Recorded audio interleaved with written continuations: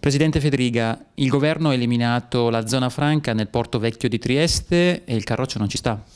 È una vergogna quanto è accaduto con un emendamento del senatore Russo, nemmeno votato al Senato, ma fatto proprio dal governo nel maxi emendamento. Nella sostanza si va a depauperare Trieste di una grande potenzialità. Il porto franco nord eh, sarebbe un fiore all'occhiello se venissero emanati dal, dal, governo tutti i decreti necessari ad attuare tutti i vantaggi fiscali della, della zona franca, avrebbe un vantaggio dal punto di vista imprenditoriale, dal punto di vista delle attività produttive e quindi dal punto di vista occupazionale.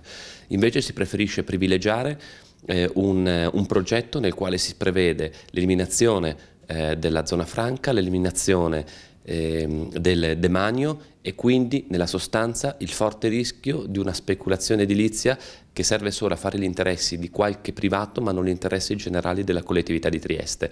Non ci stiamo a questo gioco al massacro, continueremo la battaglia anche dopo questo blitz vergognoso fatto di notte al Senato in un maxi emendamento e drammaticamente devo dire che chi fa le cose di nascosto, senza un confronto, io lo chiamo ladro. Non ci sto eh, a far eh, rubare a Trieste la sua ricchezza, le sue potenzialità la Lega continuerà la battaglia e cercherà anzi di ampliare la zona franca e di portare maggiori benefici per la zona franca stessa. Questo non è un vantaggio solo per Trieste ma per tutta la regione, anzi dico di più, per tutto il nord del paese. Eh, vorrei sapere in quale altra parte al mondo ci sono degli eh, esponenti eh, politici locali che invece di richiedere zone franche e valorizzare le zone franche giocano, fanno il gioco a massacro di volerle togliere.